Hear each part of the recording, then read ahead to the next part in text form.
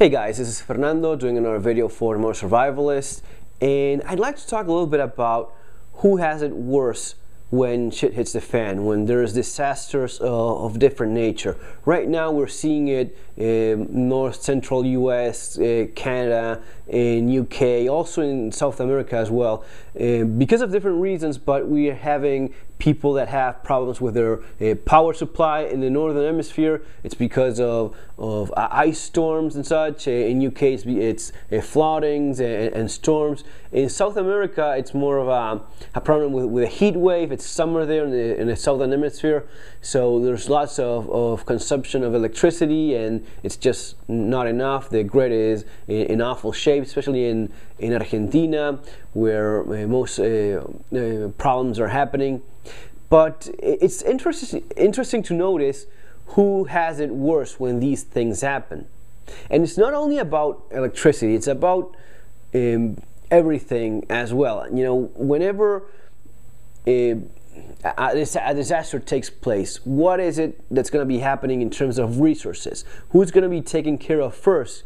and who's going to be taken care of last. There was a, an interesting video about a, gen, a gentleman in northern U.S.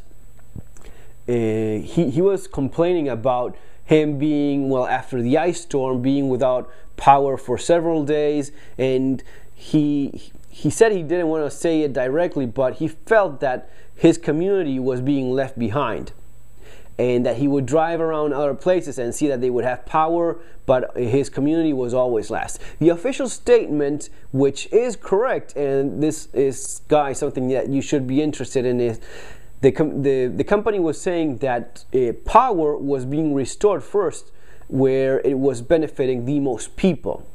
It's understandable that if you have a certain amount of, of manpower, if that crew working 6, 12 hours, 24 hours restores electricity for 50,000 people, then that's a better use than putting those same resources in uh, giving back electricity to 5,000 people. If you benefit 50,000 people, 100,000 people, you do that first rather than benefiting a small community of 5,000, 2,000, let alone someone that it's, you know, uh, the, the, typical uh, super uh, survivalist homestead myth of being one gas tank away or God knows how, how much further away from civilization being the best idea. This is a good example of why that's not a very good idea. It's actually an awful idea. Imagine that in, in, this, in these situations, someone that is miles away and maybe there's a, a power line just providing power to yourself and maybe a couple other neighbors at most,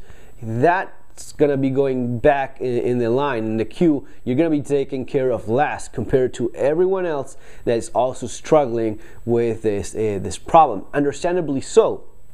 So it's, it's actually a pretty bad idea. Again, it's not only about power, it's about resources for everything, every single thing. If it's going to be a, a police manpower for, for policing an area, um, it's going to be focused any effort in terms of of, um, health or medical issues, infrastructure in general. It's going to be focused first where it benefits the most people. You being isolated is yet again a very bad idea. Then uh, this gentleman also implied in some way that the neighborhoods that he saw were being taken care of first, not only maybe were um, larger populations according to what the company was saying, but he was saying that these were also higher income uh, areas, higher income neighborhoods rather than low income uh, locations uh, such as the one in which he lived himself. And that's true also, even though it's going to be an, an official stance, the company is not going to be saying it uh, outspokenly, but unofficially speaking, it's also understandable that a company is going to be taking care of first of the higher income sectors because those are in general the ones that will have much more of a voice, much more of a saying in, in the affairs related to those companies.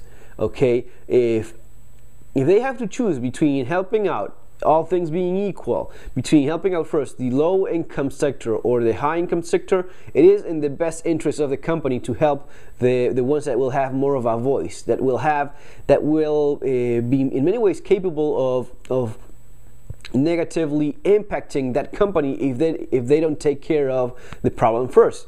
In general, uh, people of, of, higher income uh, sectors uh, are um, influenced much more the affairs of, of different public and private companies.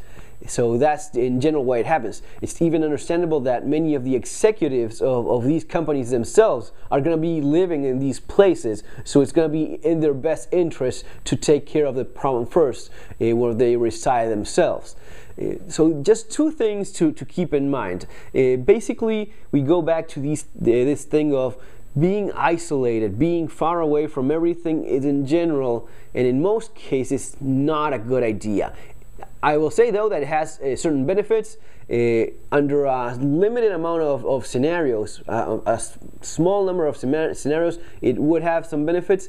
In general, for most of them, especially the ones that are most likely, it will not. So keep all this in mind, guys. Fantasy fiction versus reality. What's happening right now it's it's reality and what's happening in, in, in people's minds in, in their own uh, worlds of fantasy that's gonna not gonna be helpful for you for realistic preparedness.